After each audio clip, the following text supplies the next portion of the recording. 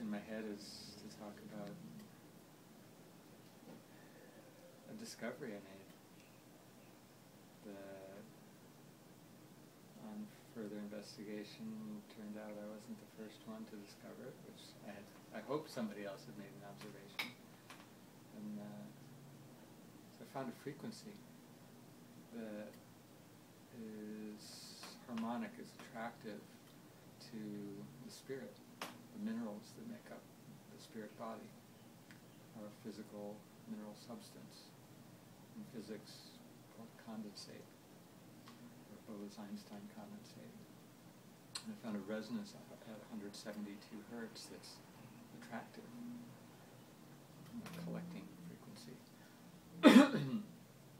as opposed to the, the frequencies that we normally use in modern culture power transmission, 50 hertz, 60 hertz, tend to drive off the spirit, like an electric oven electric stove will, will deplete the, the, the sub substance, the substantial spiritual energy in that food.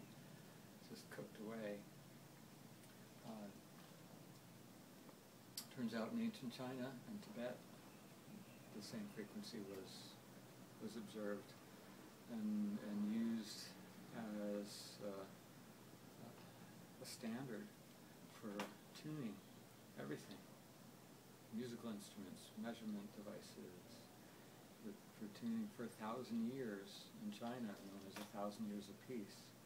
This was actively used to regulate the culture, and they call it the dominant harmonic frequency of nature.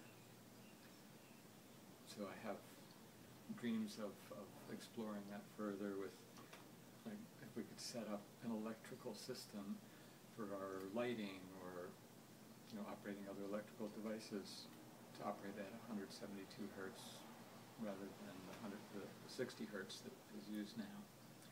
I believe from my research that that will have an opposite effect. It'll have a, an effect of creating an energetic sanctuary that that increases our own consciousness, our own spiritual development, our health and vitality rather than having what we now call sick building syndrome, which is the, the chemistry, the electronics, the, all the unconsciousness that has gone into how we produce the environment we live in.